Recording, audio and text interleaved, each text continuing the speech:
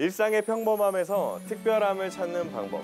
그것은 그저 평범함에 애정을 가지고 오랜 시간 동안 관찰해야지만이 비로소 그 안에 숨은 반짝반짝 빛나는 특별함을 찾을 수 있겠죠. 제주의 평범하지만 특별한 가치를 찾아 그림에 담는 사람 신승훈 작가를 만나보겠습니다. 작가의 그림은 마치 알록달록 동화책 같습니다. 제주를 동화로 그려내는 그의 이야기를 들어봅니다. 판타지 제주 아일랜드의 작가 저희 신승훈 작가님 모셨습니다. 어서 오십시오. 안녕하십니까. 자 일단은 어, 작품 얘기하기 전에 자기 소개 먼저 해주시죠. 저 한국화를 전공했고 지금 제주에서 활동하고 있는 작가입니다. 국내외 아트페어도 돌고 있고 어, 지금 활발하게 활동하는 작가로서 어, 지금 열정적이게 작업하고 있는 신승훈 작가라고 합니다. 신승훈 작가가 그려낸 판타지 제주 춘자의 행복 여정이 시작되었습니다.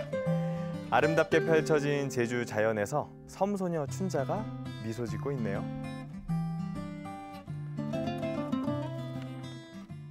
춘자 일단은 캐릭터 소개부터 한번 해보죠. 춘자는 어떤 캐릭터죠? 제주도 하면 떠오르는 게 삼자도잖아요. 거기에 돌, 바람, 여자잖아요. 근데 여자의 여자 하면 떠오르는 게 저도 고민을 많이 했어요. 어, 생활력도 강하고 친숙한 이미지에 아 그러면 누가 있을까라는 생각이 떠올린 게 저희 어머니였던 거예요. 그리고 어머니 이름이 춘자예요. 오춘자라고. 그러다 보니까 오자는 뺐지만 춘자는 누구나 친숙한 이름 아니겠습니까? 그래서 그러면 아 캐릭터에 넣어보자. 아 그럼 더 맞지 않을까? 춘자가 여행을 떠나고 있어요. 여행의 배경은 제주도고 그 기존에 저희가 알고 있던 그 제주도의 풍경과는 완전히 다르거든요. 그러니까 이런 제주도의 풍경 좀 판타직하게 제주도를 묘사하는 데는 이유가 있을까요?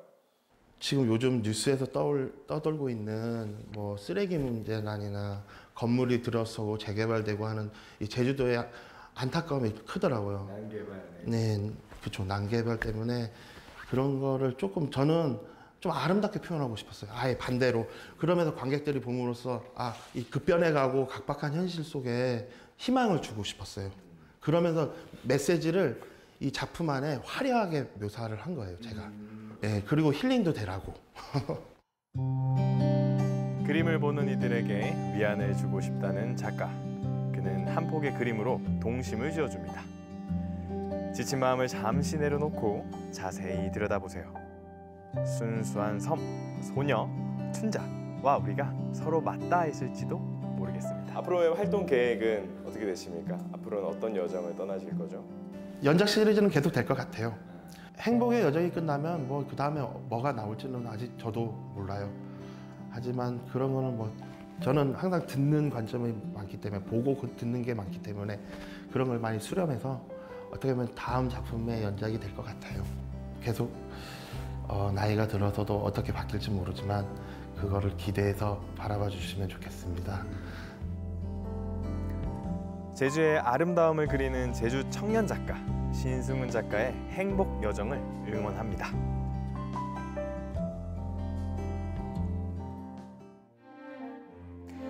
목판 위로 사각사각 하나의 목판화가 탄생합니다.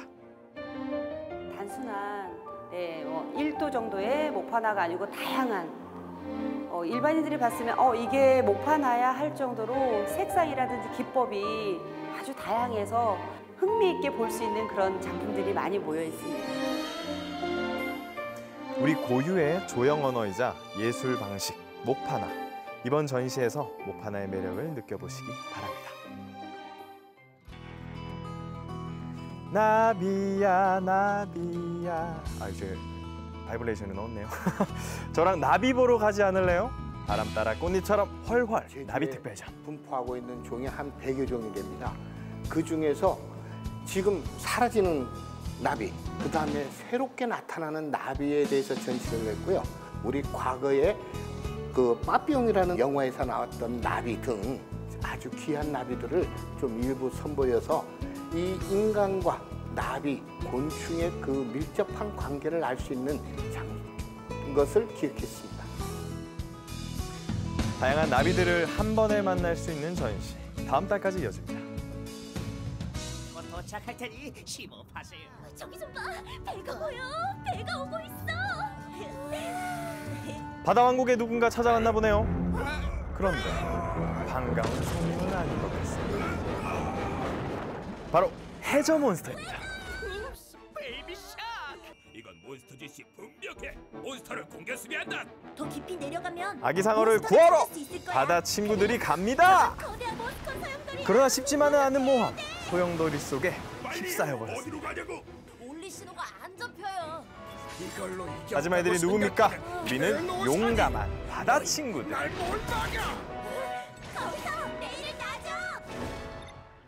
빨리 지나가는 방법 알려줄까? 그게 뭔데? 따라가면 되지 바닷속 친구들의 짜릿한 탐험기의 끝은 해피엔딩일까요?